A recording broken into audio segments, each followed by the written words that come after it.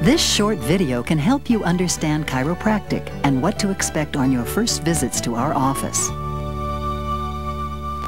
Chiropractic is based on the scientific fact that your nervous system controls the function of virtually every cell, tissue, organ, and system of your entire body. Bending, lifting, and turning depend upon the proper function of your nervous system, as does breathing, digestion, or fighting off an infection. Your nervous system controls everything. That's why your chiropractic doctor is so interested in your nervous system. Your body is controlled by the computer-like organ of the brain. The brain is protected by the skull and communicates with the tissues and organs of the body through the spinal cord, which is housed in the moving bones of the spinal column. Pairs of nerve roots branch off the spinal cord from between each spinal joint to service the entire body.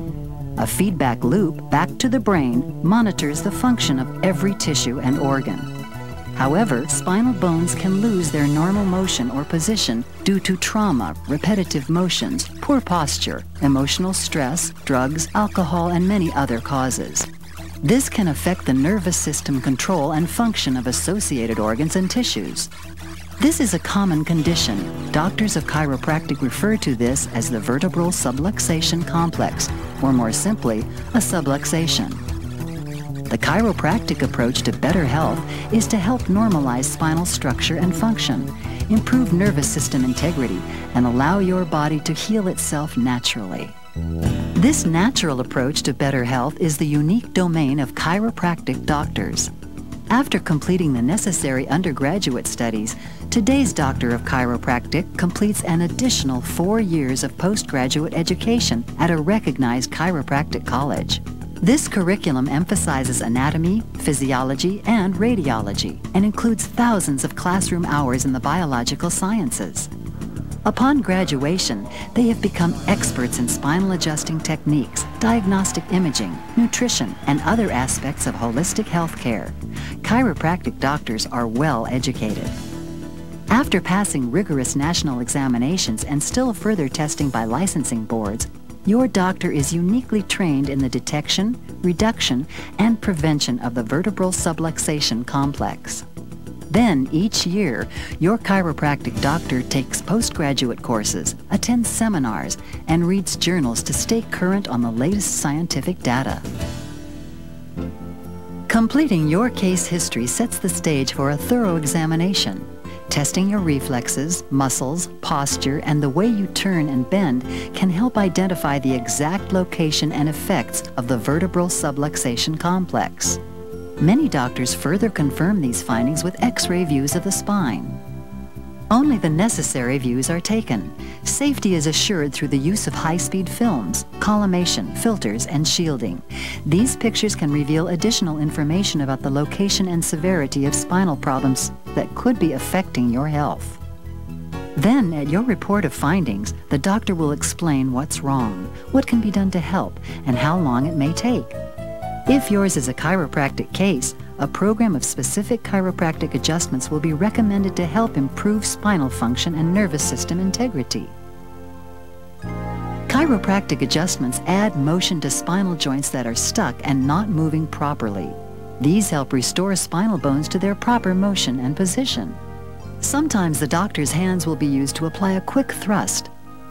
Other times it may call for a slow, constant pressure or an instrument is used to produce a precise and measurable force.